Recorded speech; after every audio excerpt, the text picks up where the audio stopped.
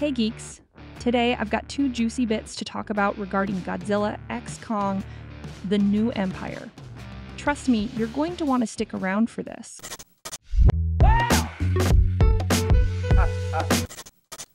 The big question on everyone's mind.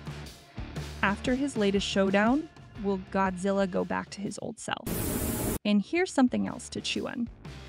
Did Godzilla just get a makeover, or is there more to it, like a change in his person? We've got a lot to unpack here, so let's dive in.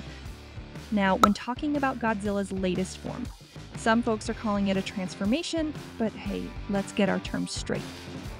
A transformation is a big, immediate change. Think caterpillar to butterfly, but evolution. That's a whole different ballgame. It's a slow burn, a gradual shift that often means improvement or adaptation. So, in Godzilla's case, I'd say we're looking at an evolution, not just a quick switcheroo. But here's the kicker if this is a true evolution, can Godzilla even go back to his old form? Think Pokemon rules here. Once they evolve, there's no going back. If Godzilla's change is more like an ability he's picked up, though, then yeah, he could remember burning Godzilla. That was an ability, not an evolution. He powered up, did his thing, and then went back to normal. But wait, there's more. Evolution isn't just about physical changes. It can totally revamp your mind and personality too.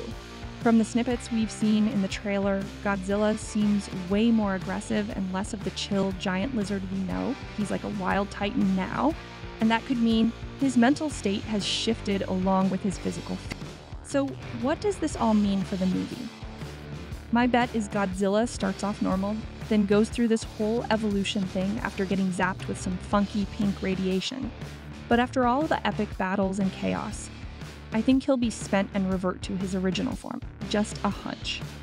Now, if I had it my way, I'd love to see Godzilla start normal, then go absolutely berserk.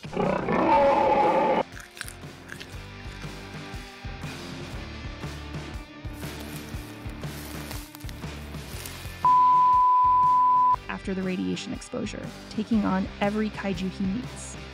Imagine him getting stronger and more uncontrollable with each battle, ending the movie as a complete wildcard. That would set up an insane Godzilla 3, with everyone trying to bring back the Godzilla we know and love.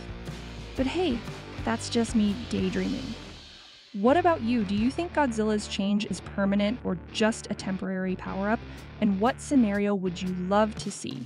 Hit me up in the comments. I'm dying to know your thoughts. And don't forget, if you're loving these deep dives into the Monsterverse, smash that subscribe button. Your support keeps us going and bringing you the coolest content every day. Drop a like too, and let's spread some joy in the world of Feta Geek News. Catch you in the next video, folks.